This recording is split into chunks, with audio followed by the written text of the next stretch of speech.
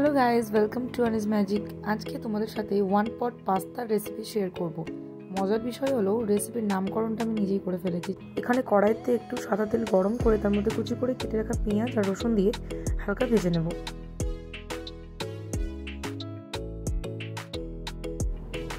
পেঁয়াজটা হালকা লাল হয়ে গেলে কড়াইতে একটা সাইডে করে, তার মধ্যে দিয়ে দেবো হাফ টিস্পুন বাটার বাটার তো এখানে চামচকে ছাড়তেই চাইছে না হোক পড়েছে।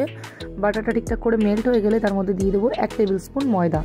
ময়দাটা অল্প একটু ফ্রাই করব যাতে খুব একটা বেশি লালচে না হয়ে যায়।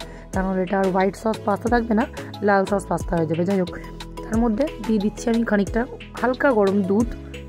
এটাকে ভালো করে মিশিয়ে নিয়ে তার মধ্যে দিয়ে দেবো গ্রেট করে রাখা চিজ স্বাদ মতো নুন অরিগ্যানো আর দিয়ে নিচ্ছি আমি এখানে চিলি ফ্লেক্স ইনগ্রিডিয়েন্টসগুলো ভালো করে মিশিয়ে তার মধ্যে দিয়ে দেবো। আগে থেকে বয়ল করে রাখা পাস্তা দেন ভালো করে মিশিয়ে নিয়ে একটু ফুটতে দিলেই রেডি আমাদের cheesy creamy one pot pasta জানাতে বলো না, খুব অল্প জিনিসে ঝটপট তৈরি হয়ে যাওয়া আজকের এই রেসিপিটা তোমাদের কেমন লাগল? আমি ততক্ষণ ঠান্ডা ঠান্ডা ওয়েদারে এই গরম গরম পাস্তা এনজয় করি আমার হ্যাংলা কোম্পানির সাথে। দেখা হবে নেক্সট ভিডিওতে টিলন স্টেট টাটা!